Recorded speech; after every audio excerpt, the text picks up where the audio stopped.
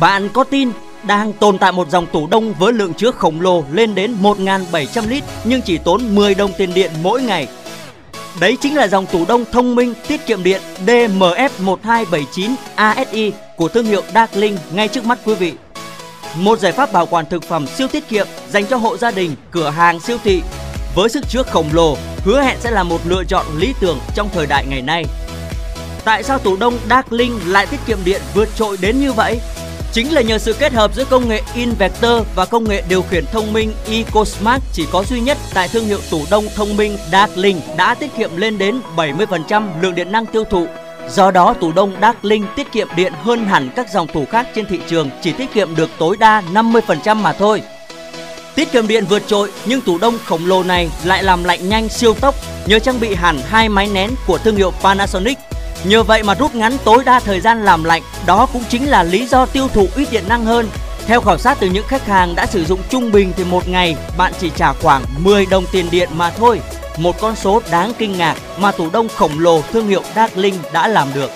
Tủ đông khổng lồ Darkling DMF 1279 ASI có thiết kế sang trọng, màu trắng tinh tế, ngăn đông rộng rãi thông thoáng, được làm từ những chất liệu cao cấp, tạo độ bền chắc cho tủ, dễ dàng lau chùi vệ sinh, Cửa tủ được thiết kế ba cánh sang trọng tiện nghi, giúp bạn có thể lấy được thực phẩm ở vị trí mong muốn mà không cần phải mở hết các cửa. Như vậy, lượng hơi lạnh thất thoát sẽ không nhiều và tuổi thọ của tủ sẽ bền hơn. Tủ đông Darkling với đa chức năng giúp tối ưu bảo quản thực phẩm. Cấp đông cứng, nhiệt độ âm 17 độ C đến âm 30 độ C. Cấp đông mềm, nhiệt độ từ âm 5 độ C đến âm 10 độ C. Giữ mát, nhiệt độ từ dương 10 độ C đến âm 4 độ C các bạn có thể tham khảo số liệu vừa rồi để bảo quản thực phẩm tốt hơn.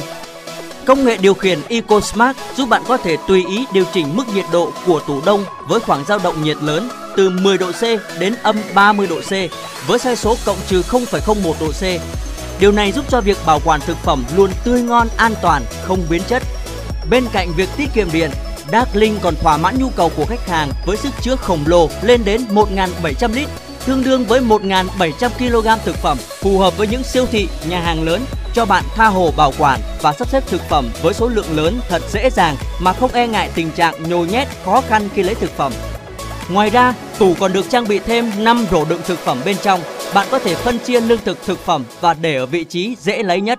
Hiện tại Đắc Linh đã sản xuất hai mẫu tủ đông khổng lồ với dung tích khác nhau để người tiêu dùng có thể lựa chọn với các thông tin sau Model tủ đông DMF 1279 ASI với kích thước 2650 dài x 900 cao x 900 sâu mm và dung tích 1400 lít.